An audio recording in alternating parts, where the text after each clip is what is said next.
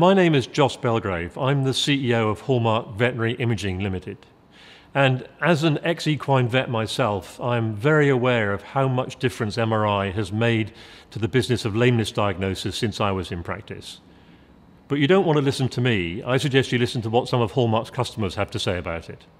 We see a whole range of different conditions, everything from small ponies um, through to um, racehorses with different conditions of the fetlock and the knee, but still the predominant type of case that we see is foot pain. Well, MRI I think has made a huge difference in terms of us being able to make more specific diagnoses, particularly related to foot related pain.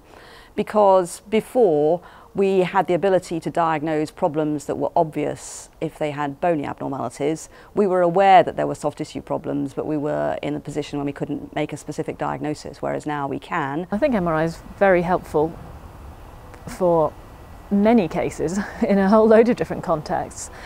But I think it's certainly improved my understanding of uh, the relationship between injuries, even at different locations. We can image the fetlock region, the metacarpus, the carpus, the tarsus, and in all of those areas we have discovered new lesions that we didn't know existed before. Having a whole new um, advanced imaging modality in our armoury has absolutely transformed the way in which we can interpret changes within tissues. If we have an MRI diagnosis then it's usually a much more specific diagnosis so that we can make sure that we tailor the treatment specifically to that case. So if you have an accurate diagnosis then it's much easier to make a rational treatment plan.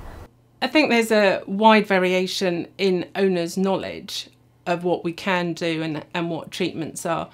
So, a lot of the uh, more experienced owners or owners of some of the uh, competition horses are very aware of current uh, treatments and current uh, surgical options, medical options, and current trends in treatment. The referring vets benefit in exactly the same way as we do. So when they're evaluating cases in their in their practice that they can't get a, a diagnosis using the more traditional methods of nerve blocks, X-rays, and so on.